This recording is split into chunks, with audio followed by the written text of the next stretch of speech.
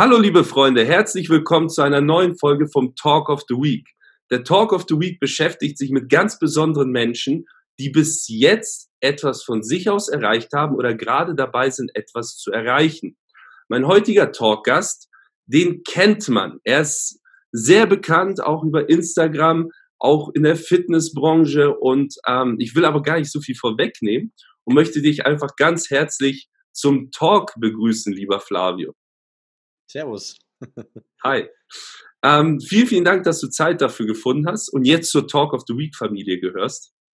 Und okay. ähm, wir wollen heute mal ein bisschen schauen, wie du zu der Person geworden bist, die du jetzt bist, ähm, ja. was du im Leben alles erreicht hast, welche Meilensteine du hattest und ähm, genau. Am besten fangen wir aber damit an, wie war der Flavio, als er klein war? Erzähl uns mal ein bisschen was von dir, gleich auch woher du kommst, was du genau machst und ähm, ja, let's go. Also, ich muss ganz ehrlich sagen, die Vergangenheit fällt mir ein bisschen schwer. Ich habe mhm. da nicht so, so viele Erinnerungen. Ja. Hm, Mutter ist Künstlerin, Vater ist äh, Gastronom, Kellner gewesen. Und ja, Fußball gespielt, äh, viel, viel in, meinem, in meiner Jugend. Und äh, ja, meine Mutter hat mich so ein bisschen in die Flohmärkte mit eingeführt. Und da habe ich, glaube ich, so wahrscheinlich direkt oder indirekt auch durch ihre Arbeit, also Künstlerin, das heißt, sie malt Bilder, mhm. ähm, auch so ein bisschen die Freiheit wahrscheinlich indirekt verspürt, dass, dass, dass man auch selber der Gestalter seines Lebens sein kann. Und ja, ich habe hab ganz, ganz langweilig Hauptschule gemacht, war da eigentlich ganz okay. Und äh, mich wollte aber irgendwie keiner haben. Und dann habe ich gemerkt, okay, ich muss da noch mehr machen. Wirtschaftsschule gemacht, wollte mich auch keiner haben. Und dann war man irgendwann so ein bisschen frustriert. Ich bin da mit vier, fünf in die Prüfung rein, mit einer raus. Und ja, es war unbefriedigend. Dann habe ich so ein Back Backend gehabt. Ich habe gesagt, Backup. Wenn, äh, wenn gar nichts geht, dann werde ich mhm. bestimmt äh, bei Aldi genommen. Und äh, Aldi wollte mich aber auch nicht haben. Und dann habe ich so, ja, alles Mögliche ausprobiert. Ich habe Messebau, Fensterbau, ich habe in der Fabrik gearbeitet, Pizza ausgefahren, hm, Laborfahrten gemacht, habe dann eine Ausbildung als Biologielaborant gefunden. Ich hatte mhm. zwar keine Ahnung von der Materie, aber meine Mutter hat mir diesen Job besorgt und dann habe ich gesagt, okay, komm, dann mache ich mal irgendwas, habe eine Ausbildung, ist auch nicht schlecht. Und ähm, bin da raus, und äh, habe parallel aber ganz viel ausprobiert. Also ich habe so mit 17, würde ich sagen, bis 24 alles ausprobiert, was schnell und hektisch Erfolg verspricht. Ich weiß nicht, ob das mhm. einer von deinen Hörern kennt. Ich, ich glaube, Gefühl, einige. einige. ich glaube, es ist heutzutage immer noch sehr populär. So ähm, viele, viele Möglichkeiten gehört. Dann habe ich Sportwetten gemacht, Roulette gespielt mit Systemen und ähm, MLM in verschiedenen Varianten, also Network Marketing, dann habe ich einen eigenen Online-Shop gehabt, aber ich weiß nicht, ob das jemand kennt von deinen Hörern, aber könnte mir gut vorstellen, so du machst ganz viel und opferst die Freizeit, liest Bücher und irgendwie passiert gar nichts. Ja? Also es ist wirklich so. Willkommen im Club, kenne ich persönlich in meiner Vergangenheit. Ja. ja. Genau. Also wirklich so sieben Jahre Vollgas gegeben. Nach der Ausbildung als Biologielaborant war das dann so, dass ich gesagt habe, irgendwie hm, muss ich mein Ding machen. Hab mhm. dann, bin zur Stadt gegangen, habe ein Gewerbe angemeldet, habe aber keine Ahnung gehabt, was ich da machen soll. Und dann kam ich über Jobs, erster Job, ähm, ähm, was war das? Äh, wie sagt man so, Konzertbau, genau, Konzertbau. Und da musste man dann so 30 mhm. Kilo Matten im Olympiastadion von München da hinlegen. Also hast am nächsten Tag Rückenschmerzen gehabt und das waren Leute, das war ein Milieu, das kennt man normalerweise nicht. Ja, also es waren mhm. alles Alkoholiker. Ich war der Einzige, der nicht im Knast war. Es war ein interessantes Milieu. Ne? Mhm. Und ähm, da habe ich so ein bisschen angefangen, auf dem Weg dahin, das war 2008, ähm, habe hab meine Freundin Schluss gemacht, dann war ich ein bisschen überrascht. Äh, der, die, die Arbeit als Messebauer, die ich dann anschließend gemacht habe, war ja auch so kurz vor der Insolvenz und da stand ich dann da mit den letzten paar Euro und hatte irgendwie so unter der Woche Langeweile und mhm. das war so mein Schlüsselerlebnis. Ich weiß nicht, ob das, ob das jemand kennt, so du, du hast das Gefühl, da sitzt ein Engelchen und Teufelchen auf der einen Seite. Und mhm. ich war zu Hause in Würzburg, das ist keine Metropole, wo unter der Woche was geht. Und ich sagte, hm, was mache ich denn jetzt? Ach komm, ich muss abends raus, ich muss was erleben. Da bin ich mit dem Auto losgefahren und nach wenigen Kilometern abends um elf, halb zwölf Ampel, kommt neben mir so eine, so zwei Jungs mit so einem 7er BMW und intuitiv wie in so einem Actionfilm schaue ich rüber. Äh, die Ampel ist rot und mitten in der Stadt bretter wieder los und ich war innerhalb von wenigen Kilometern bei 160. Also es war wenigen hundert Metern. Ja. Ja, und dann schaue ich so auf den Tacho und weiß, da vorne kommt ein Kreisverkehr und denke mir, ei, ei, ei. Und ähm, dann kam so die erste leichte Kurve zum Kreisverkehr hin und ähm, ich hatte so ein Audi und da ist mir beim Fronttriebler das Heck ausgebrochen. Ne? Und dann so schnell kannst du gar nicht schauen, zack, frontal mit 65 gegen Baum und es war so mein, mein Nullpunkt. Letzten 500 Euro für ein ADAC gelassen. Und dann stehst du da und denkst so, okay, alles klar. Ich bin aus dem Auto raus, hatte außer hier die, so, so, einen gelben, so eine gelbe Spur vom Gurt eigentlich gar nichts. Airbag kam raus. Und es sind auch Freunde vorbeigefahren abends noch, die haben das Auto gesehen, Nummernschild, Yacht nicht wer tot. Ne? Also das, das Auto war komplett hinüber. Wow. Ja, und das war so mein Nullpunkt. Ich bin dann, ich bin dann nach, äh, nach Hause und bin da irgendwie so zusammengebrochen. Ich habe da realisiert, dass es wirklich so sehr, sehr nah am, am Endpunkt war. Ich glaube, wäre ich da zeitlich aufgekommen, wäre es vorbei gewesen. Mhm. Und ähm, ja, ich habe dann, ich bin, ich bin christlich erzogen worden, habe dann irgendwie gesagt, so, okay, alles klar, ich habe das alles, ich habe ich hab schon ganz viel in meinem Leben ausprobiert, ich habe versucht, so mein eigenes Ding zu machen und habe dann gesagt, so, ich glaube, dass es Gott gibt, hier mach, mach du das Ding, ich habe keine Ahnung, wie das Leben hier läuft. Ich mhm. habe alles ausprobiert. Also war das dann dein Mentor? ja, mir letzten 500 Euro mein ADAC bezahlt, äh, im, im Feuerwehr bezahlt, weil ich keine ADAC hatte. Und da war ich blank. Und dann stehst du da, so, keine Ahnung, ich habe alles ausprobiert, hat nichts funktioniert, mach du einfach. Und dann hat sich das wow. innerhalb von, von, muss ich sagen, relativ kurzer Zeit gefügt. Also einmal, einmal privat, hat mich äh, ein Freund, der ist jetzt bekannt unter breitester Pastor Deutschlands, kann man gerne mal auf mhm. Instagram mhm. eingeben. Der macht jetzt ein soziales Fitnessstudio in Wuppertal. Super interessant. Und der hat mich damals gefragt, 2008, ey Flavio, hast du Bock auf so eine Freizeit zu kommen? Und ich sagte, ich kann es mir nicht leisten, aber ja, probier mal aus. Ähm, mhm. Er hat gemeint, wenn die Hälfte zahlst, kannst du hier in der Küche helfen. Und da habe ich meine Frau kennengelernt, ja. Viele, viele mhm. Freundinnen, Frauen vorher gehabt. Wenige Wochen, Monate später meine Frau kennengelernt. Ja. Wir sind jetzt seit über zehn Jahren zusammen, Kinder und so weiter. Schön. Dann, dann auch, hat sich auch innerhalb von Wochen gefügt ähm, mit, dem, mit dem Thema. Ich dachte, was kann ich denn überhaupt? Ja, ich habe alles probiert, aber irgendwie habe ich das Gefühl, ich kann nichts, ich bin nichts. Und dann kam so dieser Impuls, mach doch was über Fitness. Du machst schon seitdem du 13 bist Fitness. Damals ähm, war ich so verliebt, dachte mir, ich traue mich die nicht anzusprechen, nämlich ein paar Handeln trainiere und es wird schon, hm. vielleicht spricht die mich an, so, so ja. jugendliche, jugendliche Illusion. Und ähm, ja, habe dann schon relativ lang trainiert. Ich glaube, elf Jahre waren es dann schon, zehn, elf Jahre. Und ich war am Anfang so richtig so ein richtiger Hautständer, würde ich jetzt sagen. Hm. Konnte irgendwann nach Jahren aufbauen, dachte mir, diese Geschichte, die muss ich nach außen tragen, weil es bestimmt viele gibt, die sich unwohl fühlen. Hm. Ja, gibt und, es. Ähm, genau, habe dann hab den Leuten erklärt, wie einfach das ist zuzunehmen, Muskeln aufzubauen und so weiter. Und das war dann auch so, zack, das war das, was ich konnte, was ich wusste. Und innerhalb von, von kurzer Zeit konnte ich damit Geld verdienen. Dann kam natürlich nochmal so 2009 nochmal so ein kurzer Downer, wo Google gesagt hat, hey, wir wollen diese Seiten nicht haben. Wir wollen niemanden, der verspricht, dass er Muskeln aufbauen kann. Und dann kam ein Kollege, das war damals so mein erster Mentor, hat gesagt, hey Flavio, es gibt da was, das heißt YouTube, probier das doch mal aus.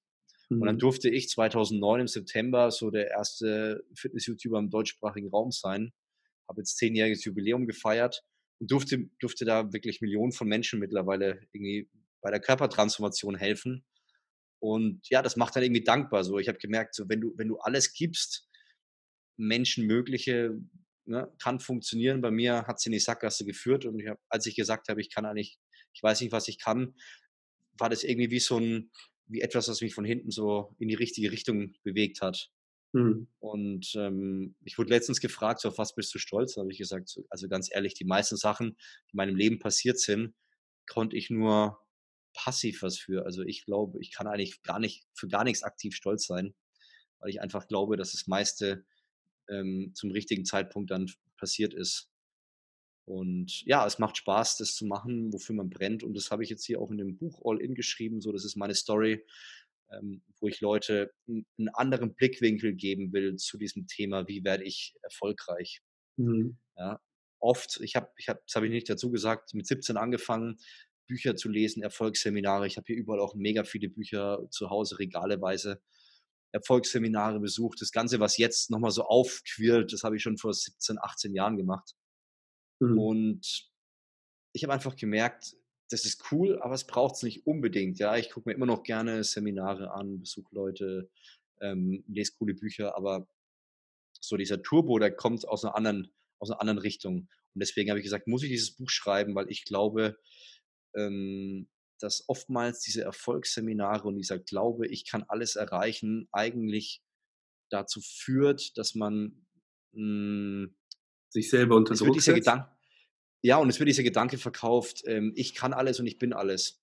Und das mhm. Interessante mhm. ist, wer so mal Bibel gelesen hat, ähm, im Garten Eden hat die, hat die Schlange ähm, Adam und Eva gesagt, hey, ähm, wenn du diesen Apfel isst, dann kannst du alles erreichen. Und die wollten sich im Endeffekt auf die Höhe mit Gott stellen.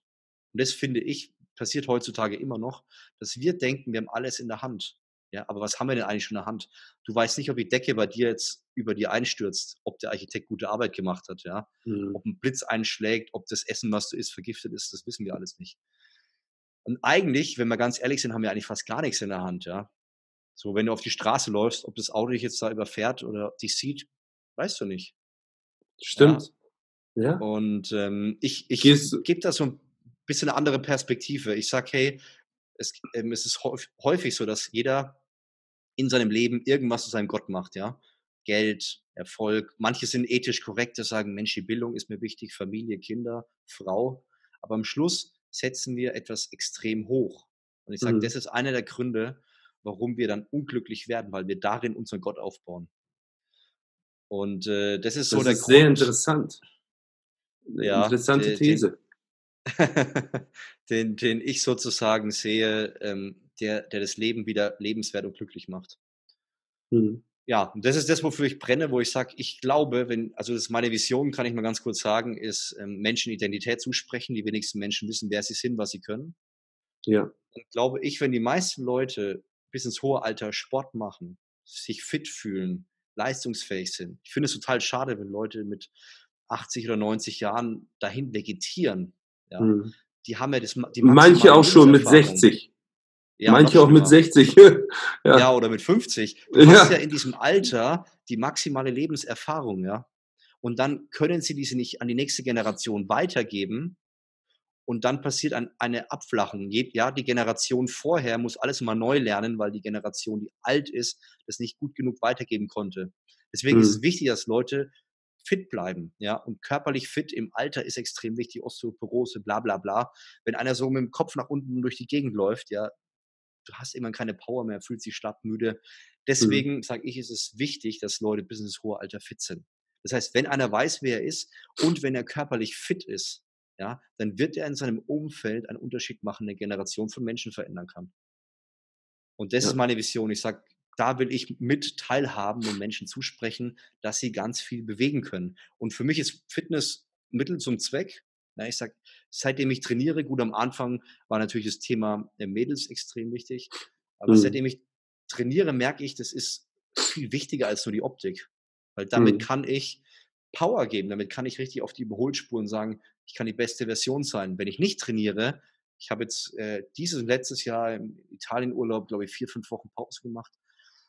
Da merke ich so, mein Leistungsniveau fällt runter, Rücken tut plötzlich mhm. weh, ich kann nicht mein Bestes geben. Ja. Vor allen Dingen, wie schnell das Woche. auch geht. Mega, mega. Mhm. Und ich mhm. sage, wenn ich mein bestes Leben leben will, das ist meine These mit dem Buch, sage ich, dann, dann ist es wichtig, dass wir uns, dass wir uns einfach fit halten. Ob jetzt einer sagt, ich will lieber Fußball spielen oder will joggen gehen oder Krafttraining, ey, mach was. Bleib fit. Mhm. Du hast ein Leben und das müssen wir bestmöglich leben. Nicht für uns, sondern für die anderen. Mhm. Dem, wenn man das verstanden hat, glaube ich, das ist ja das, was, was man bei diesen ganzen Mandela und äh, Martin Luther King und so weiter und Gandhi sieht, die ihr Leben dann geopfert haben für andere. Das ist ja für uns immer so attraktiv. Wir sagen, Mensch, da wäre ich auch gern. Und das können wir heute schon sein, in jedem Moment, ja. Wenn ich jemanden sehe, sagt, der braucht Hilfe, kann ich dem helfen oder kann aktiv was dafür tun, meine Zeit, mein Geld investieren. Energie, genau. Energie, genau. Und ja. das ist, äh, ich glaube, wenn, wenn man verstanden hat, dass wir nicht leben, um uns selber glücklich zu machen, sondern um andere Menschen glücklich zu machen, dann findet man das, was, was hier vibriert. Mega krasse Geschichte, muss ich ehrlich sagen. Ich wollte einmal eingreifen, aber ich dachte, ich lass dich aussprechen, weil es für mich auch sehr faszinierend war, die Geschichte.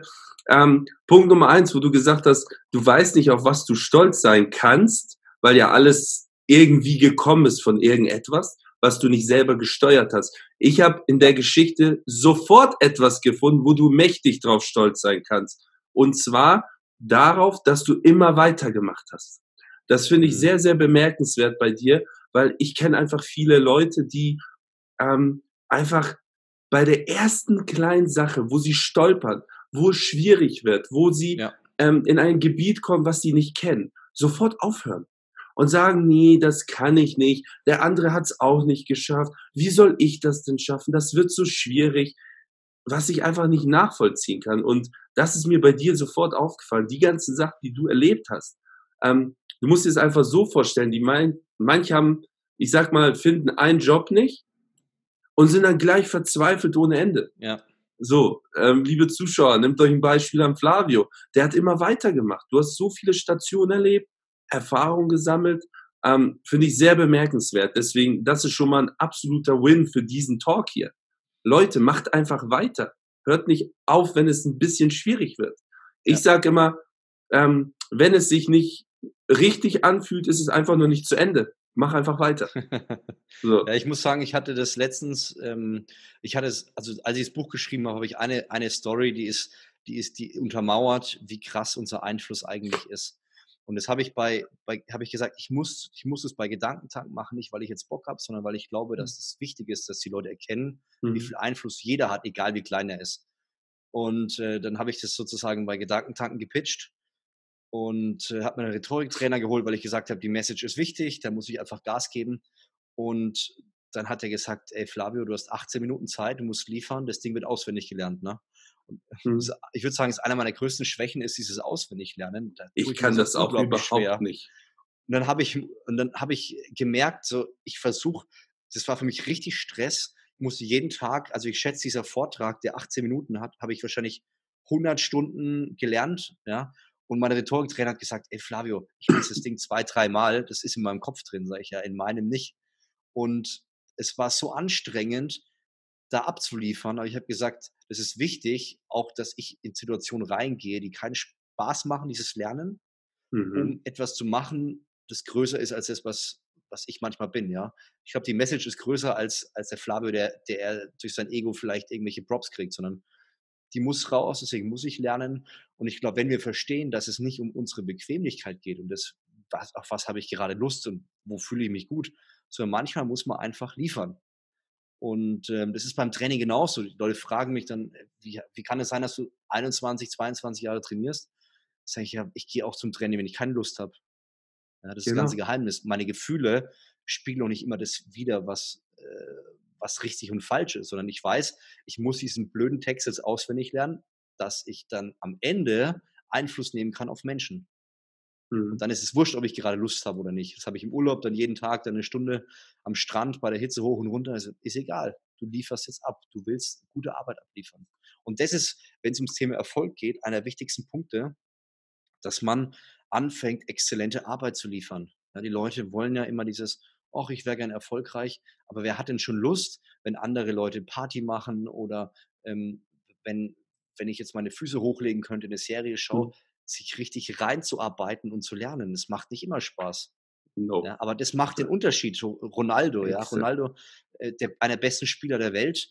Vier Stunden trainiert er anscheinend mehr als die anderen Kollegen. Hat er dazu Lust? Hey, weiß ich nicht. Ich glaube nicht immer. Ich glaube nicht, aber er macht. will abliefern. Ja, und er will abliefern. Und das ist auch das einer der wichtigsten Punkte. Wenn wir was erreichen wollen, müssen wir abliefern. Exzellenz. Und vor allen Dingen, wir müssen, wie du es genau richtig beschrieben hast, in die schwierige Situation einfach mal rein. Ich habe zum Beispiel morgens einen Smoothie, den ich trinke. Und ich sag dir eins, jeden Morgen, wenn ich diesen Smoothie allein schon mache, könnte ich mich schon übergeben. Wo ich sage, warum mache ich den Mist? Ich, ich hätte so locker einen Vanilla-Shake trinken können oder was auch immer. Ich trinke diesen Smoothie. Aber ich mach's. Egal wie es mir dann geht. Und ich glaube einfach, ich mache ja auch viel im mentalen Bereich, ich glaube einfach, das ist auch echt viel Kopfsache. So, ne? Definitiv. Weil wir leben in einer Gesellschaft, das sage ich auch immer, wir leben in einer Gesellschaft. Wenn du eine Frage hast, du gibst das in Google ein und kriegst so die Antwort.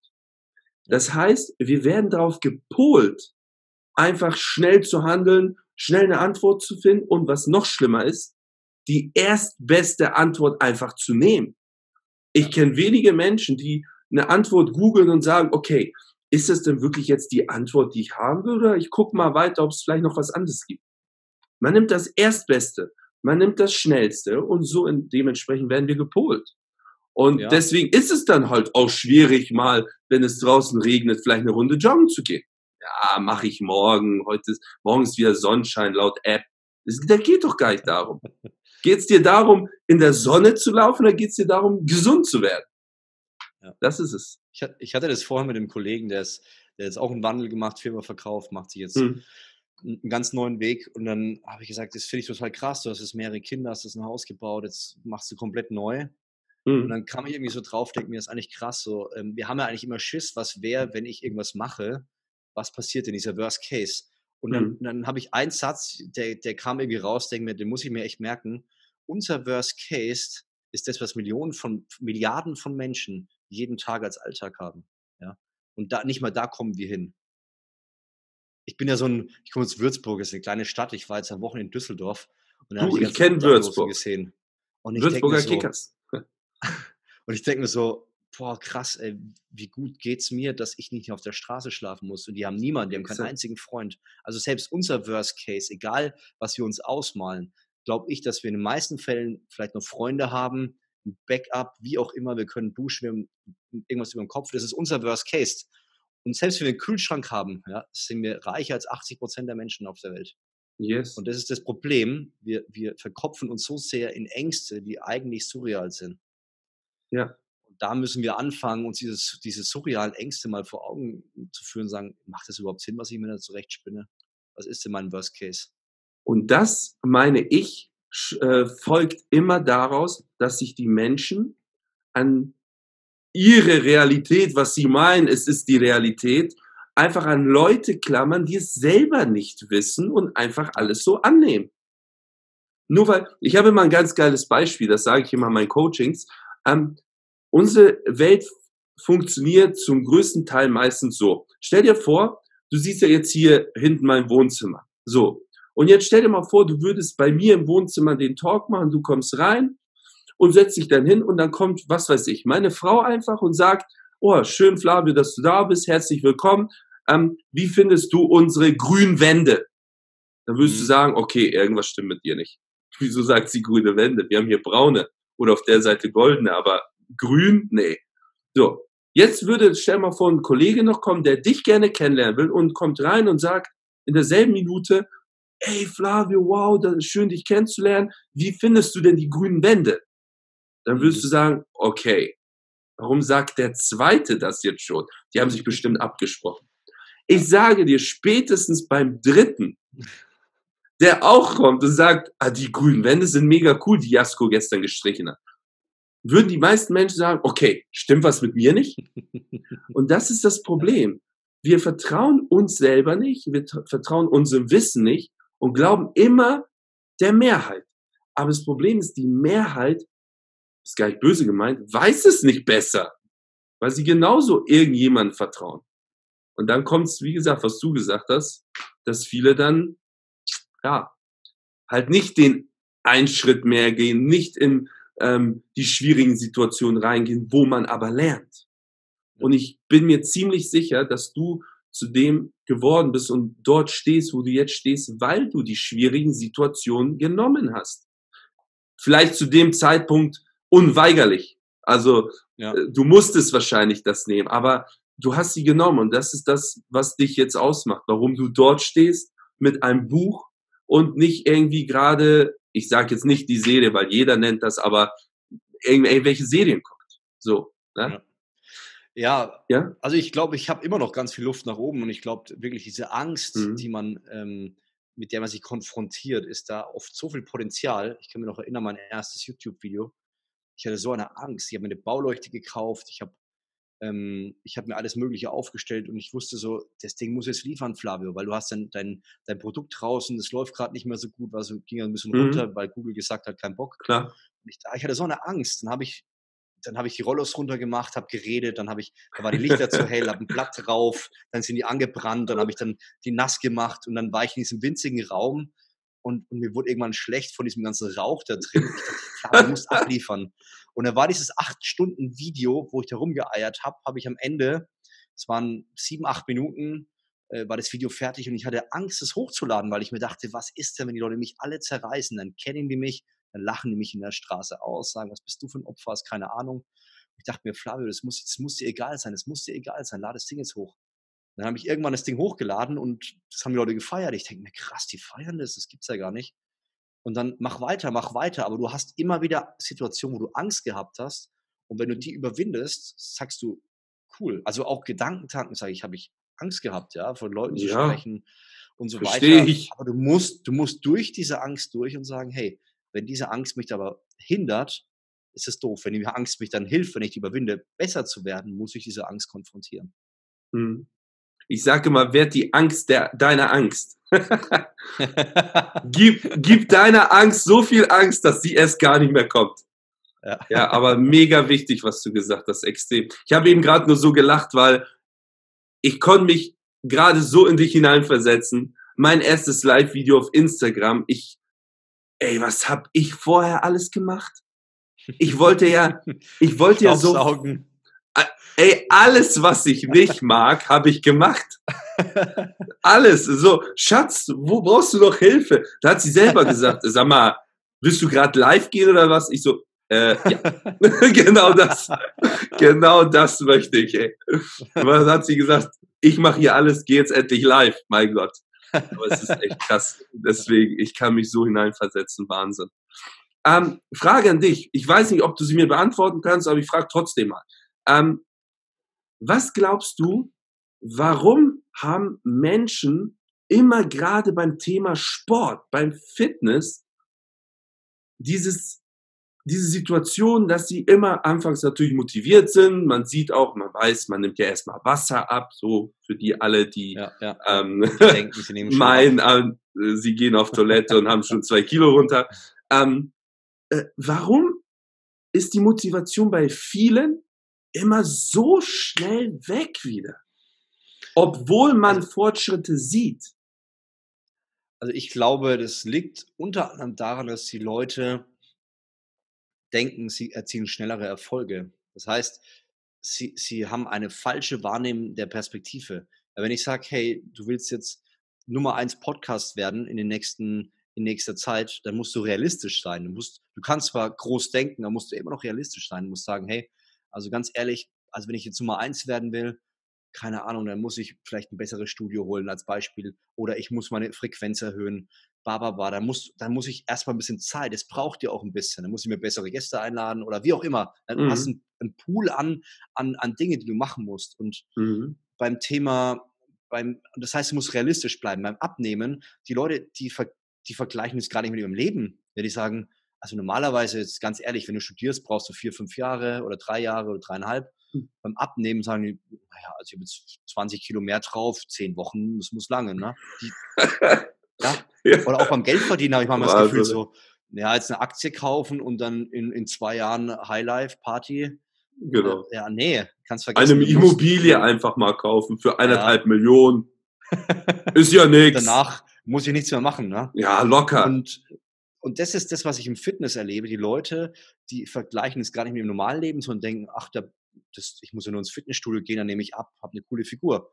Na, du kannst ins Fitnessstudio gehen, du wirst merken, du hast Muskelkater, aber die Figur ändert sich in der Küche. Das heißt, du musst, du merkst, du musst teilweise auch auf coole Sachen verzichten. Wenn du mit Leuten essen gehst, musst du mal einen Salat essen und, äh, und nicht den Burger.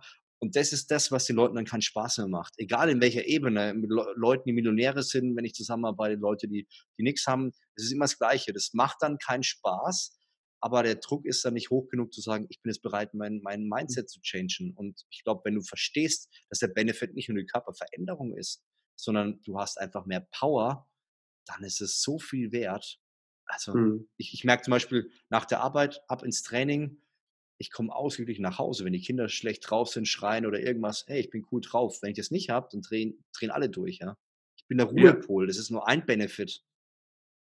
Haltung mhm. viel besser. Die Leute merken, oh, da kommt jemand, der, der, hat eine Haltung, unterbewusst, oh, der hat anscheinend Selbstbewusstsein.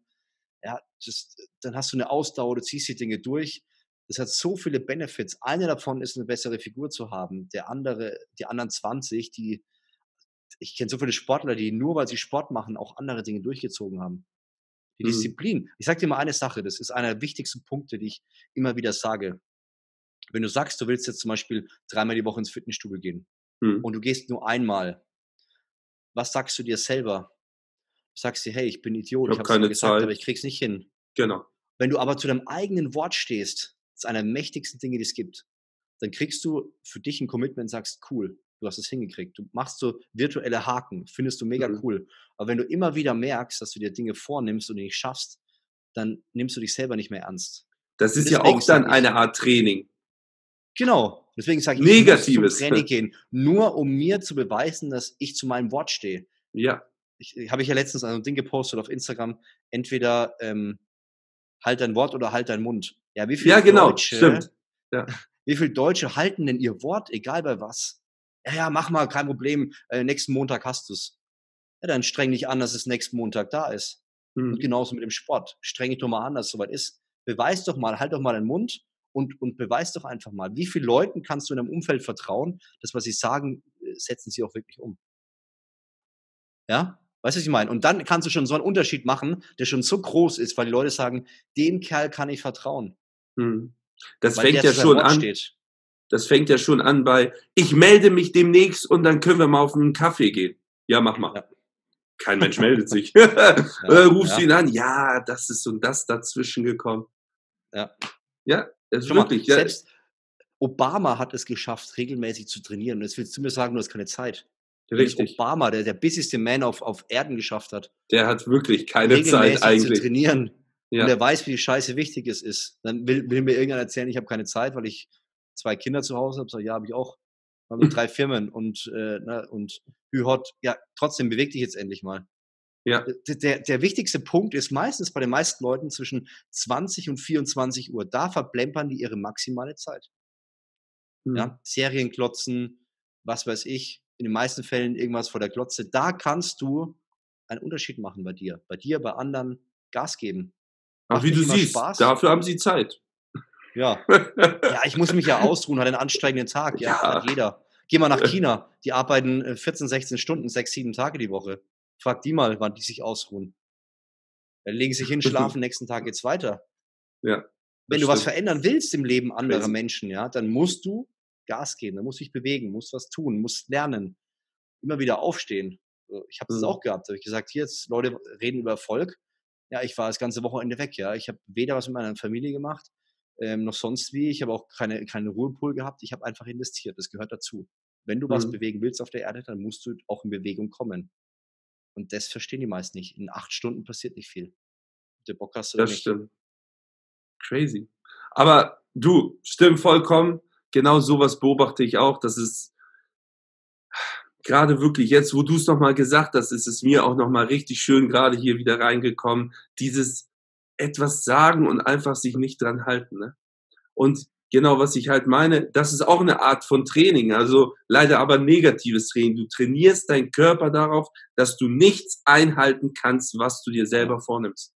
Und wenn du es schon selber nicht kannst, wie willst du es denn anderen vermitteln? Klar. Das ist es also nämlich, ich, ne?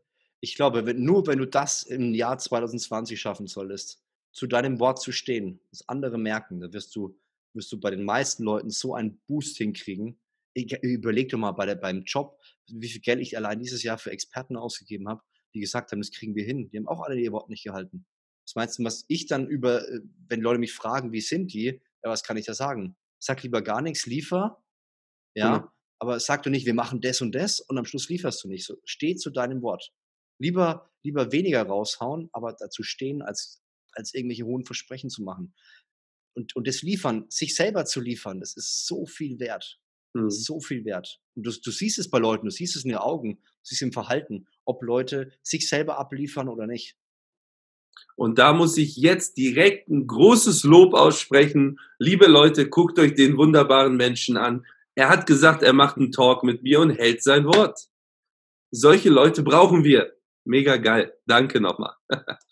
ähm, so, jetzt habe ich, okay, ähm, lass uns mal über noch was an. Eigentlich wollte ich jetzt noch was fragen, aber wie ich dir ja gesagt habe, ich habe mich, ich habe keine Fragen vorbereitet, weil ich immer das schön im Talk selber raussuche. Ja. Dementsprechend kann ich auch eigentlich nichts vergessen, weil was ich nicht frage, frage ich halt nicht. ähm, meine Frage an dich, wie sieht so ein Tag bei Flavio aus? Ich bin mir ziemlich sicher, es gibt keinen Standardtag bei dir. Aber wie, nimm uns mal so in einen Tag bei dir rein. Was, was machst du? Du stehst morgens auf. Was machst du? Wie sieht dein Tag aus? Also normalerweise habe ich mir jetzt angewöhnt, das war auch sehr hartes Brot für mich, so 5.30 Uhr aufzustehen. Wenn man, wenn man theoretisch bis halb neun schlafen kann oder halb acht, ist das immer schwierig, bewusst zu sagen, ich stehe früher auf. Stehe früh auf, ähm, lese Bibel, bete, ähm, plan meinen Tag, strukturiere und so weiter. Das ist mega wichtig, weil ich gemerkt habe, Sehr geil. Na, wenn du Angestellter bist, gehst du natürlich ins Büro, fragst den Chef, was soll ich machen? Ja, mach das und das, okay, alles klar. Wenn du Unternehmer bist, musst du proaktiv sein. Das heißt, du musst aktiv planen und so weiter. Mhm. Das heißt, da bin ich fertig. Um 7.30 Uhr ähm, starte ich den Song Walking in Memphis, weck meine Familie auf. Jeden Morgen das Gleiche. Schön. Ähm, ja, mach die fertig, äh, mach die Launchbox für die Kinder und so weiter, bring die Kinder in den Kindergarten, mach einen Spaziergang, werd ready im Kopf. Und dann mache ich was Lustiges. Das hat mir geholfen, überhaupt mit Podcast zu starten. Haben Podcast Naturgewalt und äh, ich habe mir gedacht, ich krieg das nicht hin. Hier setze ich mich hin, dann sind irgendwelche Lautstärken außenrum. Wie kann ich liefern? Und dann war irgendwann die Lösung so, alles klar, ähm, ich während der Autofahrt vom, von zu Hause ins Büro 10, 12 Minuten, dort mache ich meinen Podcast. Und dann habe ich halt so das Handy, stecke das Ding rein und liefere halt dann zwei, dreimal die Woche so einen Podcast, was auf dem Herzen ist.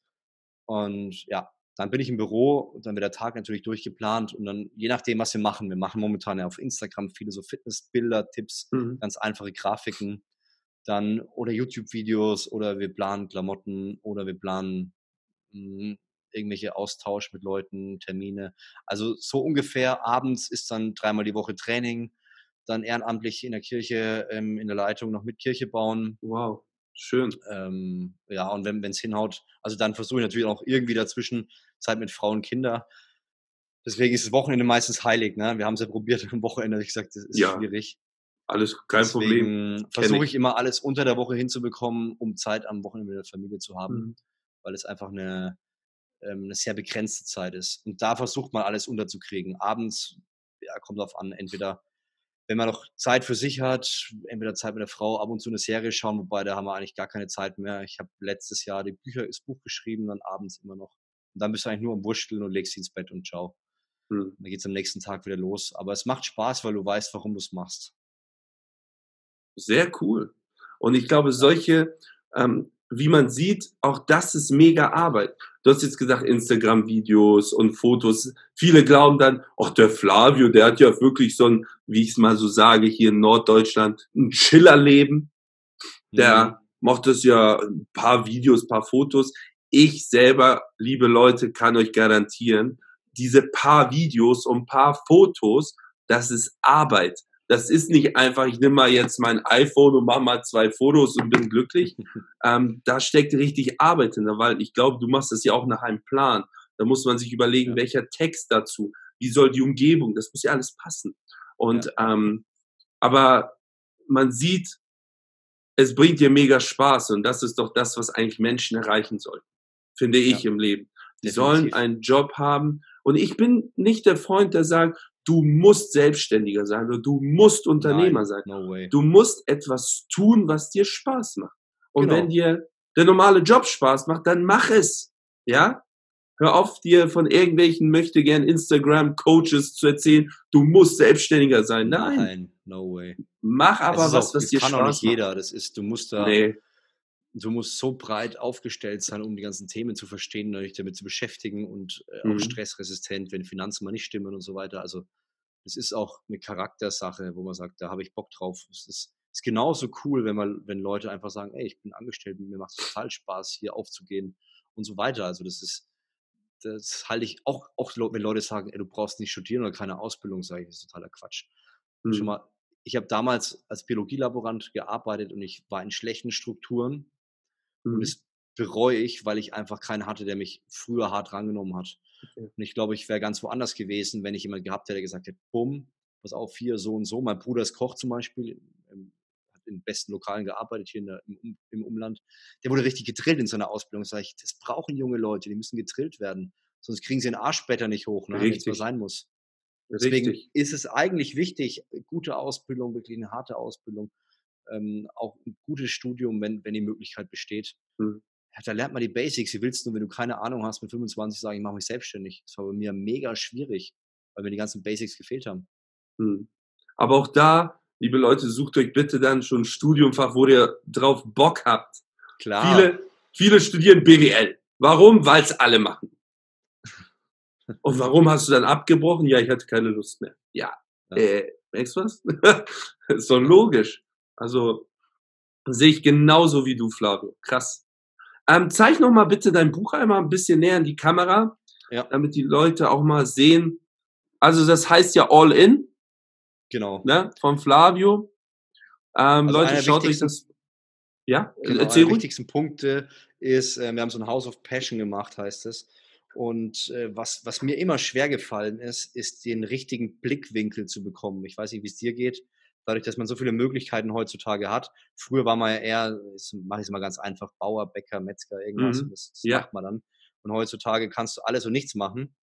Und äh, ich habe dann so ein House of Passion gemacht und da geht es darum, hier habe ich es, unterschiedliche Perspektiven einzugehen. Ja? So die ganzen Perspektiven mal anzuschauen. Hier mhm. oben, ähm, was fällt mir leicht, was ist mir wichtig, da habe ich verschiedene Stockwerke gemacht, dass man unterschiedliche Blickwinkel sieht. Zum Beispiel am Ende des Lebens, was sollte da passiert sein?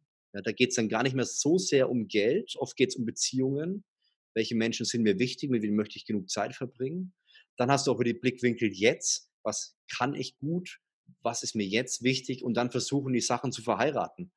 Und, Mega ähm, und das natürlich dann, da haben wir ja so Wände gemacht. Das eine heißt dann stabile Wand, äh, Umfeld. Ja, Umfeld, weißt du selber, ist, ist mega wichtig. Mit falschen Prägt Umfeld, dich einfach auch. Ja, es prägt dich ultimativ. Wenn ich, mhm. wenn ich Leute reden höre, weiß ich auch, wie ihr Umfeld ist. Ja, exakt. Leidenschaft, Mut ist so die Wand. Ganz oben ist das Dach, besteht aus Geduld beispielsweise. Ja, oh ja. Ist auch so Brauchst du so extrem. Nervig, ja. genau. Und ähm, ja, das eins meiner größten Punkte. Ja. Eins meiner größten Schwierigkeiten auch für euch draußen am Anfang. Ich bin der ungeduldigste Mensch, glaube ich, auf diesem Planeten. Und ich habe damit so zu kämpfen gehabt, das zu üben. Aber das Gute an der Sache ist, ich glaube, da kannst du mir zustimmen, auch das ist reines mentales Training. Definitiv, klar. Und die, und, der, und die Annahme der richtigen Perspektive, ja. Richtig, Dass Michael perfekt. Jordan der beste Basketballer der Welt wurde, ähm, bis, bis, bis vor kurzem, liegt natürlich auch daran, dass der die Geduld hatte, die Perspektive zu sehen. Wenn ich ja. natürlich jetzt der Beste in einer Sache sein will, kannst du davon ausgehen, rechnen wir mit, mit, mit 10, 15 Jahren. Und dann fangen die meisten an, oh nee, da habe ich keinen Bock drauf. Dann sieht man auch, ob du Bock hast auf die Sache oder nicht. Ne? Bist du bereit, 10, 15 Jahre zu investieren? überleg mal, wenn du, wenn du olympischer Spieler bist, ja, dann bereitest du dich, dann musst du erstmal der Beste in dem Land sein und dann bereitest du dich vier Jahre auf diese Sportart vor. Und stell dir mal vor, du machst 100 Meter Sprint. Vier Jahre für zehn Sekunden. Wie krank ist das denn? Wenn du gut bist, zehn Sekunden. Wenn du zu den Besten gehörst. ja. Du musst ja zu den Besten gehören, dass du überhaupt von deinem Land aufgenommen wirst. Wahnsinn. Zehn Sekunden und dann überleg mal, welcher Europäer schafft da überhaupt in die, in die Top Ten? Niemand. Und, und da gehörst du zu den Besten. Bist du bereit, diesen Kampf zu kämpfen? Egal mhm. wo. Du hast so harte Konkurrenz. Aber wenn du dein Ding machst, sagt dafür brenne ich. Ist mir doch scheißegal. Ich will mein Bestes geben. Ja. Sehe die langfristige Perspektive. Es, es gibt immer noch, ich habe letztens einen kennengelernt, der hat dann auch irgendwie ähm, sowas, E-Books auf, auf Amazon rausgehauen. Mhm. Und ich glaube, 80 Stück in eineinhalb Jahren, mir verrückt. Er hat gemeint, ja, der Erfolg kommt, weil die meisten mittendrin aufhören, weil die keinen Bock haben. Ich habe es einfach klar durchgeknallt, wo die meisten schon weg sind. Und da lernst du dann auch. Du musst, diese, du musst es erstmal richtig lernen, diese Tiefe hinkriegen. Ja, die mhm. Breite hinkriegen ist nicht schwer, aber die Tiefe, die Wurzeln ja, graben, exakt. über einen Bambusbaum, die ersten paar Jahre, richtig tiefe Wurzeln machen, dass ich mhm. überhaupt in die mhm. Höhe kann. Ja, wie beim Hochhaus. Erstes, erst hier ein tiefes Erst Fundament, das Fundament. Dass ich nach oben kann. Klar. Und das ist das, was Menschen vergessen zu planen. Die planen immer nur, wo wollen sie hin, was ist ihre Vision, aber die gucken nie drauf, wo sie eigentlich gerade sind und wie tief sie runtergraben müssen, um die Höhe zu bekommen. Definitiv. Und das ist ja. das, was den Menschen fehlt. Die, aber auch das wieder, lieber Flavio, schau dir Instagram an. Jeder dritte Post ist irgendein 18, 19, 20-Jähriger mit sieben Lamborghinis, einer Rolex und ich hab's geschafft. Keiner, so kein einziger gehört ihm. Genau. Ich sage, wenn es wirklich jemand so ein Brain hat und es schafft, ich sag, hol dir das. Mein Gott, wenn du wirklich das geschafft hast, hol dir es, aber zeig doch den Menschen, wie es geht. Zeig nicht nur die Uhr, sondern zeig doch, wie es geht. Ja. Darum geht's. Aber da sind die dann wieder zu stolz, weil es könnte ja jemand anders es auch schaffen. ist doch geil, wenn es alle schaffen. Wie geil ist dann ja. die Welt? Ja. ja. Flavio, am Ende vielleicht nochmal eine wichtige Frage, die ich jeden stelle, weil ich gucke gerade wieder auf die Uhr, also die Zeit rennt. Ich glaube, der Talk geht das nächste Mal nochmal weiter. Ähm, was sind so deine drei Erfolgstipps, die du uns mitgeben kannst, die dich im Leben ähm, ja, begleitet haben, wo du sagst, durch das bin ich zu dem geworden? Also ein, glaube ich, habe ich jetzt schon sehr gut rausgehört, Durchhaltevermögen. Den ersten hast du wahrscheinlich auch schon rausgehört. Das war ja ähm, auf, aufgrund meiner Lebensgeschichte. Das hat äh, Denzel Washington auch mal ganz cool gesagt. God first. Also das ist auch einer meiner Prinzipien, dass ich Gott an alle Stelle auf den ersten Platz nehmen will. Und ich glaube, das ist einer der Punkte, die, die mich auch zu dem gemacht haben, der ich bin. Und ähm, ich, ich meine, an, an, sich haben wir diese drei schon gehabt. Ja, steht so ja. im Wort. Ähm, ja, God First und was war der letzte nochmal? Durchhaltevermögen wahrscheinlich. Durchhalten. Und auch einer Demut, ja. Wie viele Leute haben denn, haben denn wirklich Demut, ja? Die, die wollen lieber zeigen, was Tolles, was sie Tolles drauf haben, statt zu sagen, hey, einfach mal dankbar sein, einfach mal sagen, hey, ich muss doch nicht der Erste hier sein.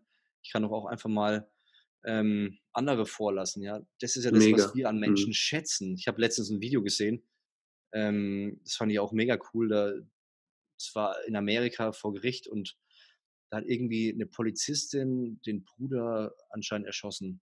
Und, mhm. und dann hat er, hat er, die war natürlich sowieso fix und fertig. Und dann war der oben, hat gesagt, ey, ich möchte dir einfach vergeben. Wie schaut's aus? Und dann war die natürlich total perplex und dann ist die unten umarmt. Da dachte mir, was ist denn das für ein Move? Vergeben, Demo, das sind so Sachen, die sind, die sind total unattraktiv ja, in der heutigen Welt, aber das sind die Sachen, die, wo die meisten Leute sich danach sehnen. Mhm. Ja, Vergebung, nee, ich vergebe doch nicht, die hat mir auch angefangen, die hat auch angefangen. Und sagen, ich mache den ersten Move. Und ähm, ja, das ist so, ich glaube, ich glaube, wir brauchen mehr als, als je zuvor diese, diese Eigenschaften, die, finde ich, ein bisschen verloren gegangen sind, die so unsere Opas noch hatten, so Opas mhm. und Omas, die irgendwie auf dem Weg dahin verloren gegangen sind. So, weißt du, Ehrlichkeit. Extrem äh, verloren gegangen. Demut, sind. ja, sowas. Langfristiger Weg, so, ey, wenn dein Opa Bauer war, der kannst du nicht sagen, ich habe jetzt eine neue Methode, wie die Kartoffel jetzt in zwei Wochen wächst.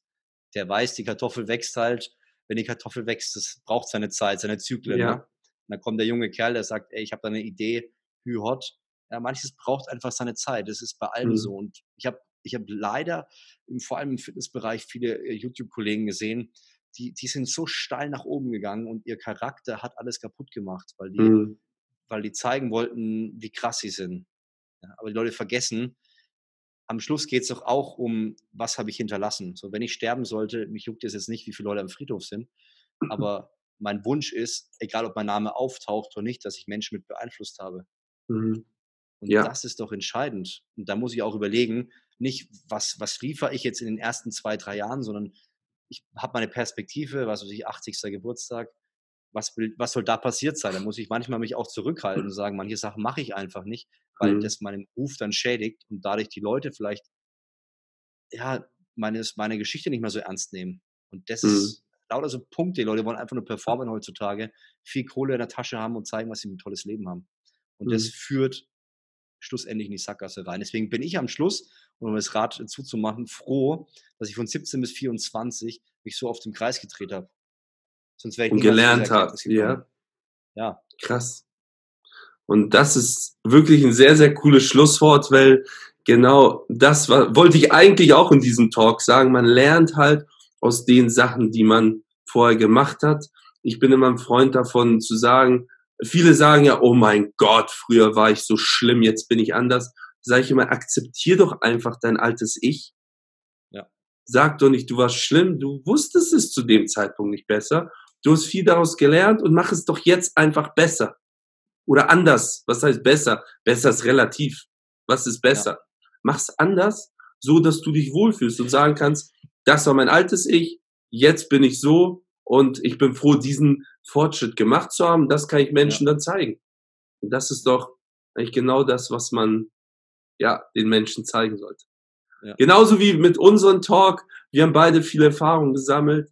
Wir konnten einen richtig coolen Einblick in dein Leben bekommen. Ich sagt dir wirklich zu 100 Prozent, hier ist so viel wichtiger Content auch für die Leute wieder drin.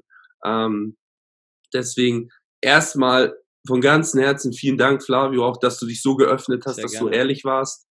Ähm, ich glaube, du hast sehr, sehr viele Herzen nochmal dazu gewonnen jetzt, weil ähm, Menschen lieben Menschen, die offen und ehrlich sind, die nicht irgendwas spielen oder irgendwas, irgendwelche Floskeln nennen. Bei dir war es richtig deep, deswegen habe ich am Anfang auch gar keine Fragen gestellt, weil ich selber so fasziniert war.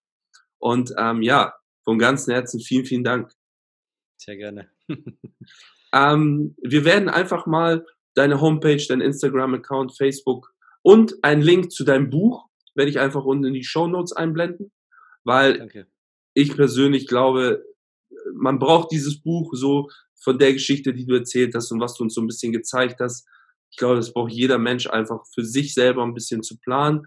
Ich werde mir auch das Buch holen, dann schicke ich es zu dir und du signierst es mir. Schick's irgendwie an dein Office und dann kriegen wir es zurück. so machen wir das. Und liebe Zuschauer, ihr habt gesehen, das war der Flavio, ähm, ein unglaublich genialer Mensch. Ich vielleicht noch mal ganz kurz paar Worte. Wir beide haben uns ja bei The One Idea von Thaddeus Koroma kennengelernt. Super offener Mensch, ähm, ist gleich mit mir ins Gespräch gekommen, sehr herzlich. Wir haben auch ein geiles Foto zusammen gemacht. Das muss ich jetzt einmal gleich zeigen. Das zeige ich nochmal in die Gruppe. Oder in den Talk. Warte, warte, warte. Ich habe das sofort. Und ähm, ja, so ist es dann entstanden, dass ich ihn gefragt habe, ob er Lust hätte auf einen Talk. Und ein Mann, ein Wort, er hält sich dran. Und das war unser erstes Foto. Stimmt. Da sieht man, wie austrainiert der Mann ist. So. Und ähm, ich, bin, ich bin super froh, dich in der Talk of the Week Familie gehabt zu haben. Ähm, super ja, geil. Dank. Und ja, ähm, liebe Zuschauer, denkt immer dran, alles immer wieder sage ich es euch. Ihr müsst jetzt nicht den Talk anschauen und dann alles Mögliche rausschreiben, was für euch neu ist. Es reicht manchmal einfach eine Sache aufzuschreiben die aber dann umzusetzen. Ja. Darum geht's. Wie sagt ein Coach von mir, den kennst du auch, wo wir bei The One Idea waren, Konstanz über Brillanz. Ja. Lieber konstant eine Sache machen, anstatt einmal zu brillieren und wieder runter ja. zu segeln. So ist es. In dem Sinne, ähm, vielen Dank, dass ihr alle zugeschaut habt. Folgt diesem Mann, ganz, ganz wichtig. Er macht sehr, sehr coole Posts auf Instagram und wir sehen uns dann demnächst wieder zu einem neuen Talk of the Week. Lieber Flavio, noch bevor ich jetzt das beende, ähm, ich gebe immer meinen Talkgästen nochmal am Ende eine kurze Zeit. Ähm, möchtest du noch etwas loswerden? Möchtest du jemanden grüßen? Möchtest du was zum Talk sagen? Ähm, wie würde Uri Geller sagen, the stage is yours? ja, ich würde so, äh, so enden, dass ich sage, Leb dein bestes Leben, indem du anderen Menschen hilfst und ins Zentrum stellst. Und dann wird der Rest kommen. Mega. Damit beenden wir diesen Talk. Sehr, sehr geil. Vielen, vielen Dank und bis zum nächsten Mal, ihr Lieben. Ciao, ciao. Ciao.